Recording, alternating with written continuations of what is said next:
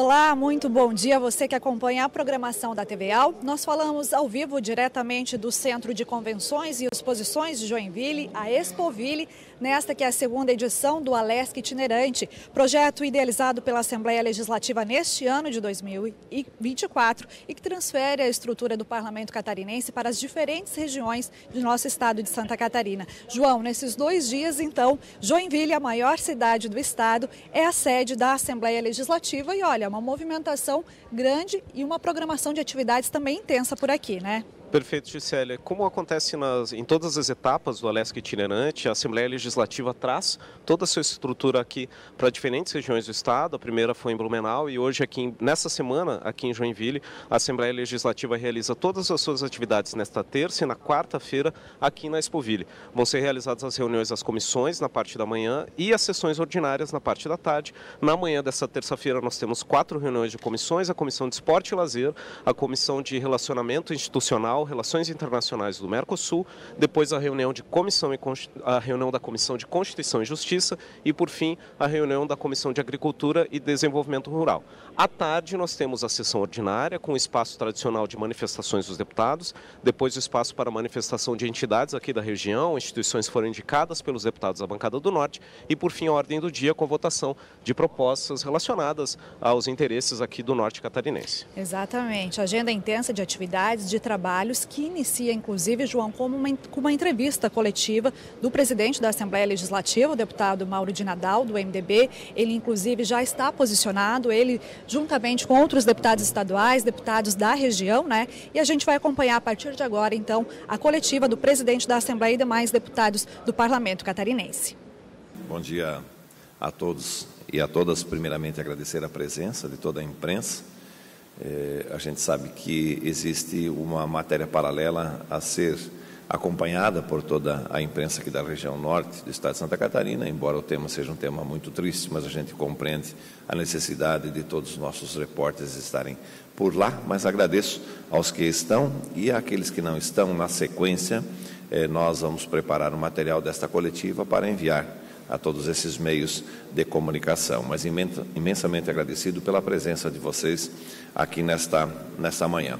É, a Assembleia é, está pela segunda vez realizando as sessões itinerantes.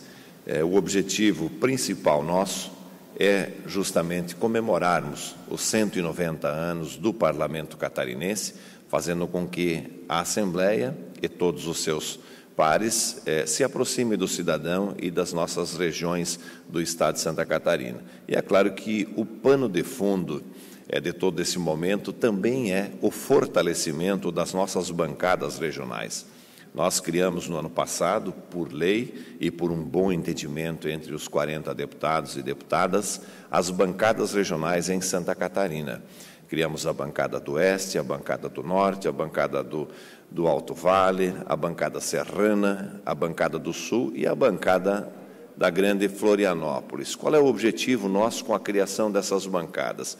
Primeiramente, elas vêm é, sustentada pela experiência da bancada do Oeste, que informalmente estavam discutindo temas importantes para a região é, e temas desprovidos da cor partidária. Todos os deputados e deputadas, nós nos juntávamos para fazer os encaminhamentos daquilo que era pauta regional. E essa experiência deu certo a ponto de nós criarmos as demais bancadas e colocarmos uma pequena estrutura para cada bancada eh, para permitir com que temas importantes como educação, infraestrutura, saúde, desenvolvimento econômico e tantos outros fossem pautados e levados por essas bancadas regionais para o conhecimento do parlamento catarinense. E nesta oportunidade, então, em comemoração aos 190 anos, nós estamos proporcionando às bancadas regionais a realização de todas de todos os procedimentos que a Assembleia adota lá em Florianópolis, no parlamento, em regiões distantes da capital de Santa Catarina. Estivemos em Blumenau, lá a participação de 25 entidades, algo que não acontece lá na Assembleia, porque regimentalmente as nossas sessões, elas não permitem com que entidades durante a sessão possam fazer manifestações com algumas exceções principalmente quando temos alguns eventos nos nossos municípios, como feira, aniversário de município. É, nessas sessões itinerantes, nós permitimos, pelo tempo de até 10 minutos por entidades, uma hora e meia é, por sessão, para que entidades escolhidas pela bancada de sua região possam falar sobre esses temas. E o importante disso tudo, quando falei em aproximação, é que também permite com que deputados de outras regiões possam conhecer esses temas trazidos diretamente por essas entidades e, no momento da passagem desses parlamentares pela região, também poderem visualizar e entenderem melhor a necessidade que cada região tem. Então, para Santa Catarina, para o Parlamento catarinense, é um momento ímpar, é um momento em que aproxima os nossos deputados do catarinense, ao tempo em que também nós valorizamos aquilo que Santa Catarina tem de melhor, que é a nossa gente, o potencial e, acima de tudo, a capacidade empresarial do catarinense. Por isso, eu quero deixar vocês bem à vontade para que vocês possam fazerem perguntas, elas podem ser direcionadas a nós. Tá? Nós temos aqui vários deputados que pertencem a essa região, temos deputados de outras regiões também que podem ser questionados é, por vocês, então fiquem bem à vontade para é, nos perguntarem e também sugerirem. Bom dia, deputado Mauro. Beto Lima, da Rádio CBN Joinville. É, além dessa, desse distanciamento físico com a capital e essas regiões que vocês acabam é, aproximando com esse, esse gabinete itinerante, né, com a LESC itinerante, é, a LESC também enxerga uma possibilidade de enxergar não só fisicamente esse distanciamento, mas um, uma aproximação de pautas. Às vezes parece um mundo muito distante, pô, né, é, legislativo, né, o que, que, afeta a minha vida. Trazer isso para Joinville, para Blumenau, para Criciúma, para Chapecó, também é, é, dá, um, dá um ar de proximidade com as pautas locais, além do que é discutido na LESC? Olha, não tenho dúvida nenhuma. É, quem sabe essa será a grande marca da passagem do parlamento pelo interior do estado catarinense. É entender as demandas em loco, é vivenciar aquilo que é a angústia que a população possui em todas essas regiões. É, e vejo que, a exemplo de Blumenau, é, vários temas são trazidos e muitos deles eram conhecidos somente por, pelos deputados que fazem a composição da bancada do Vale. Naquele momento, nós estávamos com 36 parlamentares, todos atentamente ouvindo todas as entidades que se manifestaram. E muitos encaminhamentos saíram daquele momento. Então, o parlamento, é, saindo da capital do Estado, indo ao encontro do cidadão, indo ao encontro das demandas, mostra verdadeiramente a preocupação do parlamento catarinense e de todos os deputados para com Santa Catarina e nossa gente. Então, eu acredito é, que esse experimento que nós estamos fazendo ao longo deste ano vai ser muito difícil o nosso próximo presidente da Assembleia, que iniciará em fevereiro do ano que vem, abrir mão. Por quê? Porque nós estamos sentindo de que a opinião pública está se familiarizando com este momento, está sentindo não só a presença, mas também as oportunidades de se manifestarem, mas acima de tudo os bons encaminhamentos que são frutos dessa passagem do parlamento pelo interior de Santa Catarina.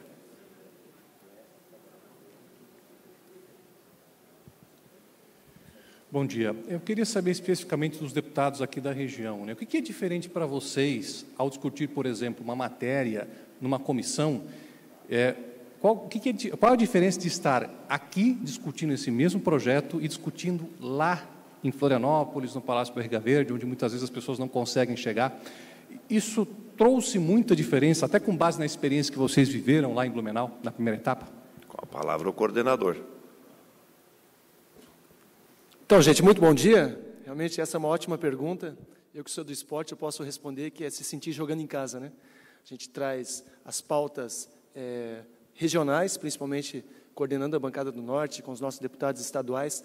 Todas as pautas, pautas regionais elas vêm para cá e a gente tem a oportunidade, a disponibilidade de convidar essas entidades que poderão participar no dia de hoje, tanto com fala como com projetos que serão aprovados de utilidade pública o terceiro setor muito forte aqui na região. Então a gente se sente muito feliz. Principalmente, eu quero enaltecer aqui o trabalho do presidente Mauro de Nadal. Foi muito democrático. Quando ele teve essa ideia, ele trouxe a todos os parlamentares, onde acatamos por unanimidade essa descentralização da LESC. É muito difícil, principalmente para o terceiro setor, onde a maioria são voluntários, guerreiros que batalham por uma nobre causa, irem até Florianópolis, o que eles vão muitas vezes, eles vão no gabinete A, B ou C, mas eles não têm voz no parlamento, lá dentro da Assembleia Legislativa, eles não têm essa oportunidade que eles estão tendo nas, a, na Assembleia Itinerante. Assim não, assim eles terão, nós estamos realmente jogando em casa, dando oportunidade de voz e vez, e principalmente esses pleitos possam ser apresentados hoje, como foi feito em Blumenau, a partir desse momento nós também começarmos a, a entender melhor como funciona o terceiro setor regional e podermos, quem sabe futuramente, com essas utilidades públicas aprovadas, podermos é, colocarmos recursos públicos com, com, fins é, para essas, principalmente questões sociais. Então, parabenizar o presidente Mauro por essa oportunidade que nos deu de trazer para a maior cidade de Santa Catarina, por descentralizar a Assembleia Legislativa, mas principalmente isso é bom para os parlamentares, é, mas é principalmente para a sociedade que está próxima do parlamento catarinense, tendo voz e vez. É, bom dia. Bom dia. É, Joinville é a maior cidade de Santa Catarina, a terceira maior do sul do país, e diferente de outros estados, fica distante da capital, do poder legislativo. Qual a importância de estar nesse grande centro econômico do estado ou é nessa semana aqui? Bom dia, obrigado. Joinville sempre foi uma força econômica do estado é, e muito representativo em todo o país trazer esta reunião para cá, trazer esta, é, este evento da Assembleia para cá, nada mais é do que justiça, de, de enaltecer o povo joinvilense e de enaltecer toda a região norte do, do, do estado, aqui nordeste, norte, que é efetivamente a grande força econômica do estado. Todas as regiões têm sua importância, obviamente que a gente vai trazer aqui enaltecer o nosso, o nosso cantinho. Mas é importante ressaltar que Joinville e toda a região, com esta representatividade, precisa cada vez mais ter o reconhecimento do governo do Estado com relação a repasse de recursos e também trazer aqui a comunidade para falar, também trazer suas demandas, para mostrar o quão importante e o quão grande é o trabalho de muitas entidades que aqui estão e que serão representadas. Por isso que é importante que não só venha para Joinville, mas também para todas as regiões. Santa Catarina tem essa característica de não ter grandes metrópoles, mas de ter uma população muito espalhada e por isso as suas gestões são mais eficientes, também por isso. E aqui nós efetivamente conseguimos alcançar um nível de excelência que pode ser comparado de forma internacional. Então, novamente agradecendo o presidente pela oportunidade, parabenizando todos os funcionários da casa envolvidos aqui na organização, que sempre com muito esmero trazem o melhor da Assembleia Legislativa e vão trazer aqui um pouquinho da experiência que a gente tem toda vez lá em Florianópolis, aqui para a nossa cidade também. Bom dia, meu nome é Margarete Paim, sou jornalista.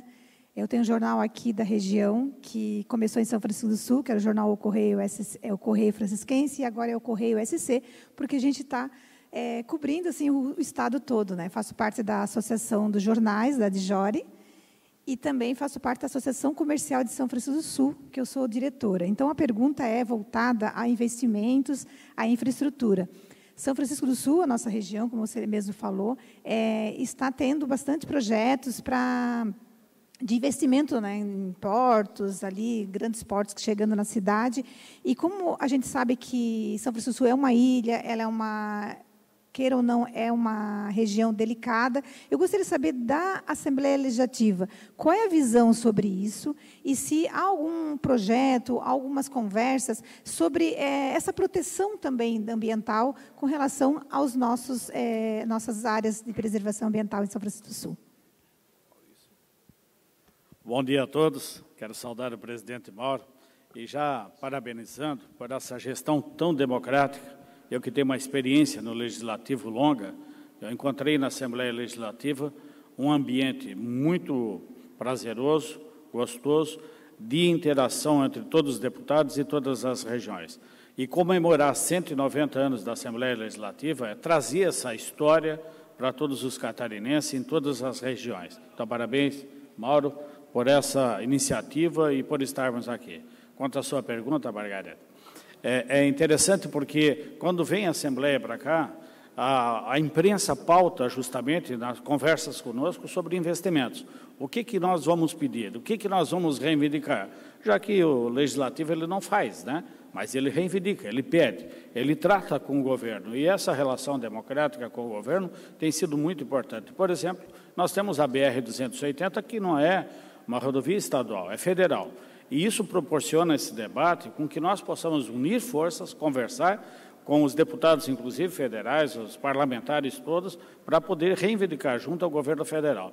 A BR-280, nós temos que nos unir aqui, tanto a classe empresarial como a classe política e o povo, de uma forma geral, para reivindicar aquilo que é nosso. Veja bem o que nós colocamos presidente Mauro e os deputados aqui da região.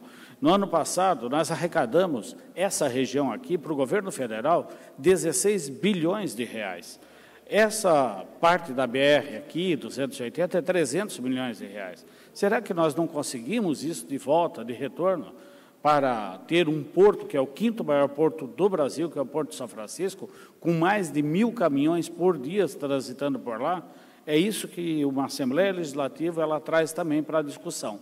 Quando ela vem na, na região, ela busca essas pautas para, para trazer o mais importante. A bancada do Norte, quando foi feita essas bancadas né, regionais, nós temos nos pautado, o Fernando é coordenador, junto com o Vicente Caro Preso, com o Matheus Cadorim, com o Lima e também é, com o Antídio, nós temos nos reunidos e pautado aqui para a região discussões, debates com as entidades, associações e com o governo, para trazer as melhorias para cá e já temos avançado bastante. Uma delas é a Serra da Dona Francisca, que vai receber agora investimento alto de 35 milhões, como também ali de, de Guaramirim para Massaranduba, né, Vicente, que depois pode falar também. Então, isso é importante, a presença da Assembleia aqui na nossa região. Obrigado.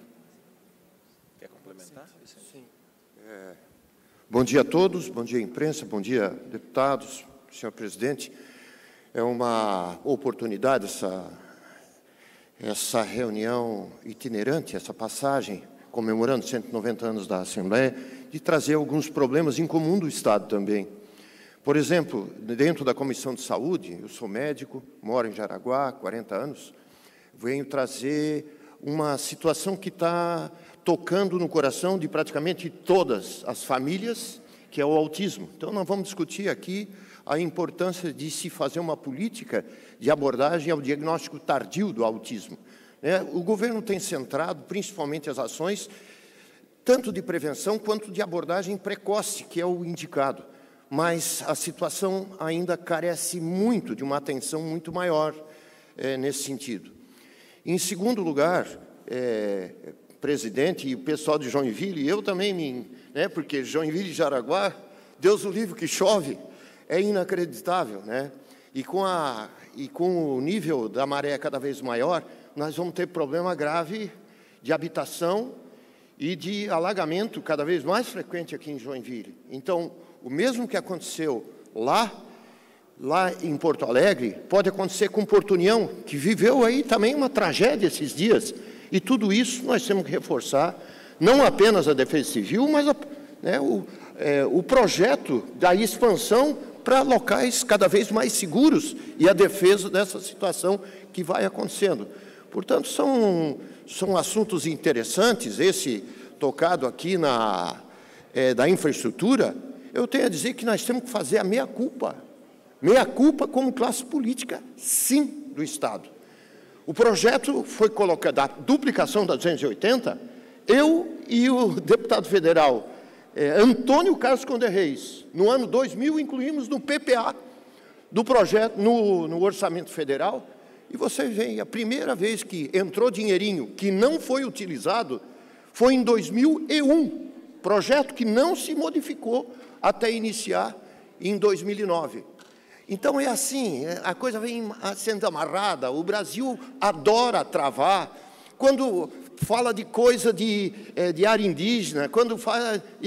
Né, quer dizer, tem expansões acontecendo aí, de novos portos, tudo, e é tudo liberado. E eu não me conformo, não me conformo que 10 quilômetros de uma, da estrada, como é que é o... Costa do Encanto. Costa do Encanto, são 10 quilômetros aí que estão esperando, com dinheiro em caixa, com dinheiro em caixa, financiamento assegurado, não termina aquela obra. Dizer, então é isso que nós queremos fazer aqui, debater, deixar mais perto do cidadão que mora aqui, do outro ladinho, né? E parabéns a toda a bancada, um orgulho muito de fazer parte com vocês aí e acho que vocês têm também oportunidade de embelezar essa sessão. Obrigado. Mais alguma pergunta? Deputado Napoleão acaba de chegar também. Bom, se não há perguntas. Presidente, é isso? Fazer uma... Quer fazer um cumprimento, deputado? Não? Sim? Depois. Tá. Senhoras e senhores, meus queridos colegas deputados, presidente Mauro de Nadal, o Poder Judiciário é estadualizado. Ele está presente em todas as comarcas do Estado. O Poder Executivo tem muita facilidade de se estadualizar. O governador e uma pequena equipe viaja todos os dias. O presidente Mauro de Nadal foi muito feliz quando citou a possibilidade de pela dificuldade que têm as pessoas de se deslocarem a Florianópolis para se aproximar ainda mais da Assembleia Legislativa, estadualizá-la ainda mais. A presença dos deputados em suas regiões é o que há de mais importante nessa relação. Mas dificilmente as pessoas teriam uma oportunidade como essa, hoje e amanhã, de poder acompanhar com todo o conforto, com toda a liberdade e com toda a transparência a atuação dos seus representantes na Assembleia Legislativa de Santa Catarina. É a Assembleia estadualizando a possibilidade desta aproximação cada vez maior de cada um dos seus representantes. Eu fico profundamente feliz de sentir que aquela ideia de que um deputado não deve ser apenas um deputado estadual mas o deputado precisa ser um deputado estadualizado, é colaborativamente falando, apoiado por essa Alesc itinerante. Cada deputado tem um voto que tem o mesmo peso do voto de um representante regional na aprovação ou não de um projeto. Por isso, é da maior importância que não só a Alesc venha aos pontos do Estado, mas o seu corpo, o seu grupo de deputados, seus assessores, que ainda não tiverem oportunidade ou não tiveram oportunidade de conhecer cada uma das regiões e poder conversar com as pessoas, trocar ideias, sentir bem de perto a importância e os principais pontos e as reivindicações de uma sociedade como a de Santa Catarina, que tanto nos orgulha.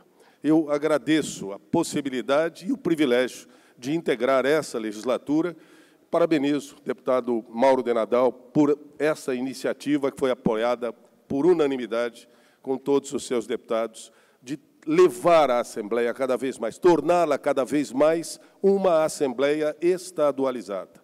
Muito obrigado a todos pelo carinho e pela forma como normalmente Joinville e região nos recebe. E vamos todos fazer uma ótima sessão daqui a pouco.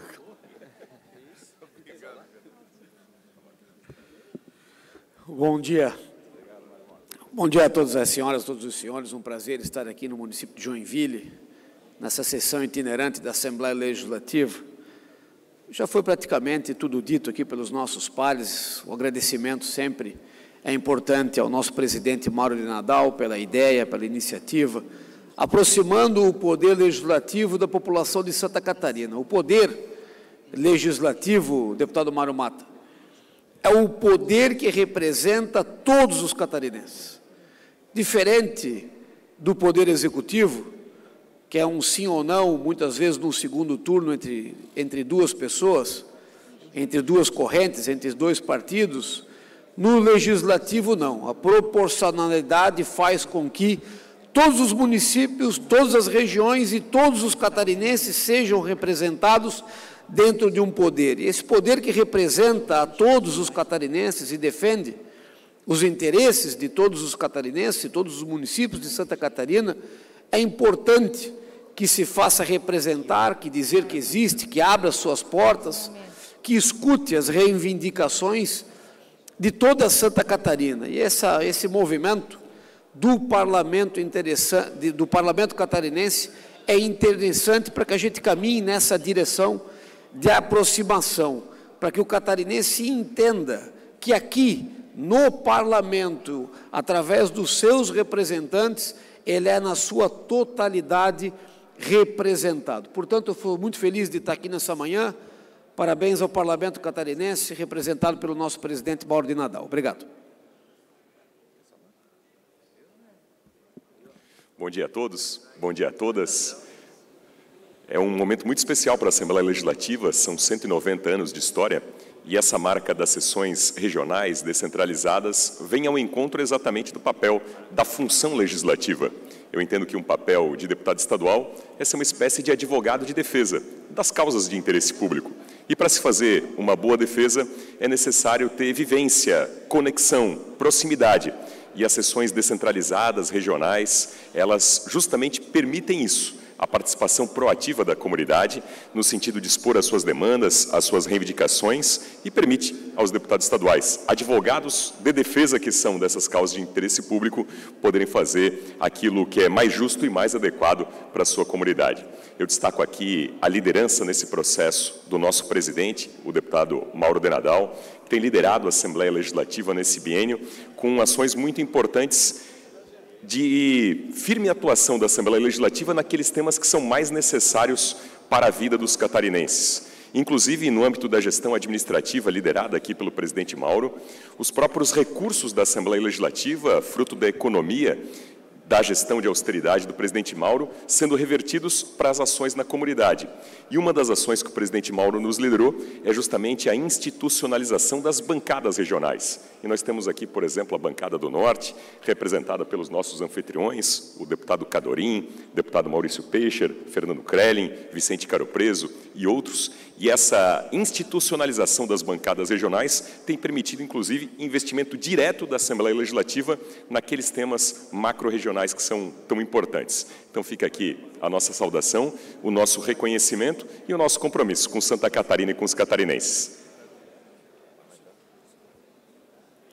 Gente, rapidamente, como coordenador da bancada do Norte, quero aqui passar algumas apresentações muito breves da bancada do Norte. Primeiro, agradecendo novamente o presidente da Assembleia quando criou as bancadas regionais, porque as pautas, geralmente, elas chegam pelo gabinete do parlamentar. E quando o parlamentar recebe a sua pauta, ele corre de uma forma individual, porque muitas vezes ele acha que essa pauta chegou somente para ele. Mas as pautas coletivas regionais, com o fortalecimento das bancadas regionais, fez com que a gente pudesse se unir cada vez mais. Nossa bancada do Norte é composta por sete parlamentares, deputado Vicente Caro Preso, deputado Antídio Lunelli, da região de Jaraguá do Sul, deputado Maurício Codilarc, do Planalto Norte, deputado Maurício Peixa, deputado Matheus Cadorim, deputado Fernando Krellin e deputado Sargento Lima. E com esse trabalho da Bancada do Norte, nós já tivemos diversas conquistas. Um grande exemplo é o grande trabalho, o fortalecimento ali da região de Jaraguá do Sul, através do elevado na BR-280, no trecho estadualizado, que foi feita agora a abertura poucos dias atrás, um trabalho que é feito há muito tempo pelo deputado Vicente Caro Preso, com o fortalecimento, com a força da bancada do Norte, conseguimos que o governo do Estado finalizasse aquela obra, mas ainda temos pendências, precisamos ter a requalificação da SC 108, que é a ligação de Guaramirim a Massaranduba, também um pleito trazido à bancada do Norte pelo deputado Antido e pelo deputado Vicente. Temos também um valor de 14 milhões de reais destinados para a nossa região, através desse trabalho com a Assembleia Legislativa, que fortaleceu hospitais aqui da região, principalmente o Hospital de Retaguarda, o Hospital Betesa, que tem ajudado nas cirurgias eletivas, no avanço das cirurgias eletivas no estado de Santa Catarina. Está sendo assim com fortalecimento também de ambulâncias, principalmente do SAMU, trabalho aqui pelo deputado Maurício Peixe, a requalificação do centro da cidade através do deputado Matheus Cadarim. Então, realmente, a bancada ela está muito coesa, muito forte nesse sentido. Temos também algumas cobranças ao governo do Estado que nós não vamos desistir, que é a cobrança principalmente das duas áreas de escape da Serra Dona Francisca, pauta de muitos é, acidentes e muitas notícias é, da imprensa. Infelizmente, perdemos muitas vidas na Serra Dona Francisca. O governo, através desse pleito, dessa solicitação da bancada do Norte, tem ajustado o projeto e teremos aí um investimento de 35 milhões com duas áreas de escape na Serra Dona Francisca. Também conseguimos, através da Bancada do Norte, a finalização do elevado Heinz Schultz, a ligação do Distrito Industrial, uh, o acesso ali na Dona Francisca até Univille e saída para a BR-101.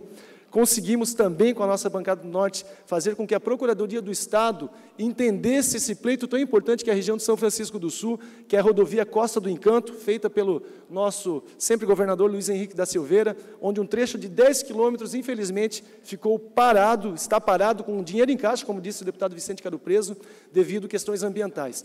Então, através da bancada do Norte, conseguimos fazer esse apelo ao governo do Estado, está com a Procuradoria do Estado, agora esse ajuste junto ao Ministério Público Federal, para que esse embrólio, esse embrólio é, ambiental consiga ser superado e a gente consiga ter o avanço, principalmente para o desenvolvimento econômico e social da nossa querida ilha de São Francisco do Sul e também da cidade de Itapuá.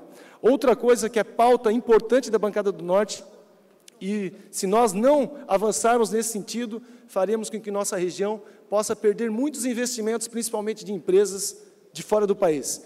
É a SC 415, ali na região de Itapoá, o porto de Itapuá está praticamente duplicando. Temos mais o porto da Coamo ali, onde o número de caminhões vai dobrar nos próximos cinco anos. Isso fará com que, se nós não, tivéssemos, não tivermos um investimento forte, principalmente duplicação naquela região, empresas podem se afastar de Santa Catarina e do norte do estado. Então, o governo já está ajustando o projeto, o governo tem é, nos atendido, nos recebido muito bem, mas essas pautas, esses pleitos da bancada do norte, com certeza continuarão. Então, eu quero agradecer cada um de vocês que fazem parte dessa bancada por estarem é, entendendo a importância da região norte do estado para o desenvolvimento econômico e social de Santa Catarina. Presidente Mauro, muito obrigado por essa oportunidade de trazer a Assembleia itinerante aqui para a cidade de Joinville. Obrigado, obrigado a todos os colegas deputados, obrigado a vocês todos que estão nos acompanhando nesse momento, dando a cobertura é, deste início de trabalhos da, da Assembleia Legislativa aqui na região de Joinville. Nós já estamos no horário destinado às nossas comissões, então eu estou finalizando por aqui. Os deputados ficam ao longo do dia de hoje e de amanhã à disposição de todos os repórteres, de toda a imprensa do nosso estado de Santa Catarina. Obrigado pela cobertura. Um grande abraço. Vocês acompanharam, portanto, a entrevista coletiva concedida pelo presidente da Assembleia Legislativa, deputado Mauro de Nadal, do MDB. Ele que liderou, né, João, essa entrevista coletiva e contou com a participação aí de diversos deputados, dez deputados estaduais, entre eles deputados da região norte, né, inclusive o coordenador da bancada norte, o deputado Fernando Krellin, do MDB. E nessa entrevista coletiva, os principais pontos, João, é o fortalecimento né, das bancadas regionais criadas na Assembleia Legislativa para tratar de pautas pautas de demandas das diferentes regiões de nosso estado. É, exatamente. Os deputados aqui uh, receberam, uh, a gente teve a participação nessa entrevista coletiva de diversos representantes da imprensa aqui da região norte de Santa Catarina. Os deputados ouviram questionamentos dos representantes dos veículos de comunicação e uh, das manifestações dos deputados aqui na entrevista. Um grande destaque para essa importância, a consolidação das bancadas regionais que foram criadas pelo parlamento para discutir os principais temas, as principais demandas de cada região catarinense. Né?